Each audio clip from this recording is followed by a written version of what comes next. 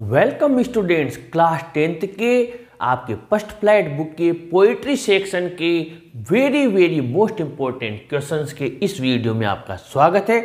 आज हमने आपके लिए थ्री पोएम्स के फाइव क्वेश्चंस लिए हैं, या यूँ कहें फाइव क्वेश्चंस के आंसर्स लिए हैं, लेकिन आप इन क्वेश्चन से और इनके आंसर्स से ट्वेंटी वन क्वेश्चन के आंसर्स बनाएँगे।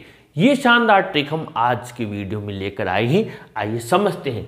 पहला क्वेश्चन जो कि मोस्ट इंपॉर्टेंट है डस्ट ऑप्शनों से what side of nature do crow and hemlock tree represent यानी कि कौवा और जो हेमलक ट्री है, जिसे हम विशेला पौधा कहते हैं, जहरीला पेड़ कहते हैं, धतुरे का पेड़, वो क्या प्रतिनिधित्व करते हैं? प्रकृति की कौन सी साइड का? तो the crow represents the dark and sorrowful sides of nature कौवा प्रतिनिधित्व करता है, अंधकार भरे और सोरोफुल यानी शेड उदास प्रकृति का, जो प्रकृति है, उसकी साइड है, उदास जो उसकी साइड है, और अंधकार भरी साइड है प्रकृति की उसका। और the hemlock represents the poisonous side of nature और जो धतुरे का पेड़ है, जहरीला पेड़ है, वो प्रकृति की पॉइजनस यानी जहरीली साइड का, को रिप्रेजेंट करता है, प्रतिनिधित्व करता है। Man faces both these things at different times in his life व्यक्ति सामना करता है इन सब चीज़ों का अलग अलग समय पर उसके जीवन काल में। ये तो हो गया पहला question question number two what is the theme message central idea of the poem dust of snow अब यहाँ पर थीम का क्वेश्चन अलग बनता है मैसेज का अलग बनता है सेंट्रल आइडिया का अलग बनता है, यानी यहाँ पर तीन क्वेश्चन बनते हैं। लेकिन हमने क्या किया? इन तीन का कॉमन एक बना दिया है आप लोगों के लिए। और साथ ही इन तीन के अलावा इस आंसर से हमने पाँच और क्वेश्चंस यानी कि पाँच क्वेश्चंस हो रहे हैं इस पोएम के। उनके भी हमने आपको आंसर बता दिए हैं जो आपकी स्क्रीन पर नज़र आ रहे हैं। यानी ये एक आंसर, उन पाँच क्वेश्चन का भी आंसर है। इन तीन के अलावा, यानी आठ तो इसी में से हो गया, यानी ट्वेंटी वन नहीं, बल्कि ट्वेंटी फोर क्वेश्चन का ये एक वीडियो बना है हमारे लिए। आइए देखते हैं। द थीम में से central idea of the poem is that.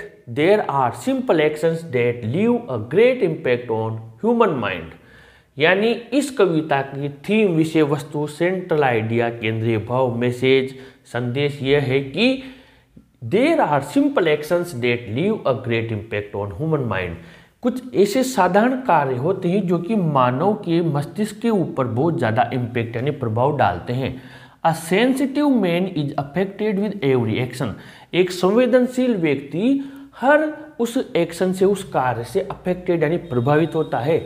The dust of snow indicates the falling down of sad pessimistic thoughts from the poet's mind जो धूल है, बर्फ़ की इंडिकेट्स वो प्रतीक बताती है कि द फॉलिंग डाउन जैसे ही वो बर्फ़ गिरी पेड़ से, ऐसे ही कवि के मस्तिष्क से ये शेड दुखी, दुख और पेसिमिस्टिक यानी निराशावादी थॉट्स विचार भी उसी डस्ट ऑफ़ स्नो के साथ नीचे गिर गए।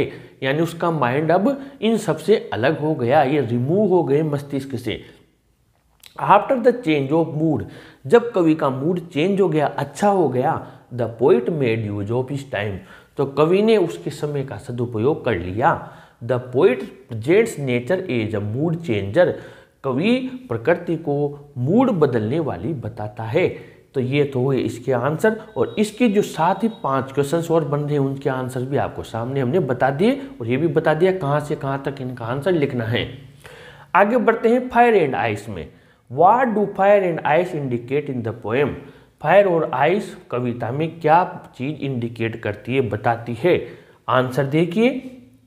The fire indicates the unending desires of man जो आग है, वो इंसान की कभी समाप्त नहीं होने वाली इच्छाओं को बताती है। अब मैं आपको बता दूँ, इस पोएम के इस आंसर से भी आपको पाँच क्वेश्चंस के आंसर्स बन रहे हैं, यानी इसके अलावा पाँच और क्वेश्चंस के आंसर्स बन रहे हैं, जो इसी आंसर से आपको बनाने हैं, जो आपको सामने नज़र आ रहे हैं, यानी अलग से उनका भी आंसर याद करने की ज़रूरत नहीं है। These desires are in the heart and mind of human being और ये इच्छाएँ जो ह्यूमन बींग है, हम इंसान हैं उनके हार्ट, दिल और मस्तिष्क में छाई हुई हैं। Desire is the root cause of all evils that can lead the world to destruction ये जो डिज़ायर है, ये रूट कोज यानी मूल कारण है सारी बुराइयों का, जो कि संसार को डिस्ट्रक्शन विनाश की ओर ले जा सकता है। द आइस इंडिकेट्स हेटर्ड जो बर्फ़ है, वो इंडिकेट्स बताती है हेटर्ड नफरत को which spreads rapidly in mankind जो कि मानवता में तेज गति से बढ़ती है एंड डेवलप्स एनमिटी और इंसानों के अंदर दुश्मनी पैदा करती है। अमंग ह्यूमंस इंसानों के बीच according to the poet unending desires lust greed bring hate and hate brings ruin कवि के अनुसार समाप्त, कभी समाप्त नहीं होने वाली इच्छाएँ लस्ट का मतलब वासना ग्रीड लालच, नफरत लेकर आती है और हेट जो नफरत होती है ब्रिंग्स लाती है, रोइन यानी बर्बादी डिस्ट्रक्शन लेकर आती है। अब आपकी क्वेश्चन नंबर फोर है a tiger in the जूसे how does a tiger terrorize villagers या यहाँ पर विलेजेस भी आ सकता है। जो बाघ है, वो गाँव वालों को या गाँव को कैसे डराता है? ही स्नॉल्स अराउंड हाउसेज वो मकानों के आसपास गरजता है, दहाड़ता है। He comes to the houses at the jungle's edge वो जंगल के किनारे बसे घरों तक आ जाता है। He terrorizes the villagers showing his white fangs and his claws वो गाँव वालों को उसके सफ़ेद तीखे दांतों से और उसके पंजों से डराता है। क्वेश्चन नंबर फाइव अब इससे भी आपके छह क्वेश्चन बन रहे हैं इसके अलावा how does a tiger in the zoo live यानी चिड़ियाघर का बाघ कैसे रहता है? इसके अलावा छह क्वेश्चन भी आपको नज़र आएँगे, जो इतने से छोटे से आंसर से बनेंगे। अ टाइगर इज़ रेस्टलेस एक बाघ बेचैन है, सेठ दुखी है फ्रस्ट्रेटेड निराश है। अनिजी यानी बिल्कुल अनिजी अनकंफर्टेबल है और उसे परेशान है वहाँ and in a silent anger in his cage और उसका जो गुस्सा है उसने साइलेंट शांत किया हुआ है। His strength is kept behind the bars उसकी ताकत को सलाखों के पीछे डाल दिया गया है। He laments over his condition वो अपनी कंडीशन पर विलाप करता है। तो ये पाँच क्वेश्चन हुए और इसके साथ ही हमने आपके इनसे इतने सारे क्वेश्चन बना दिए।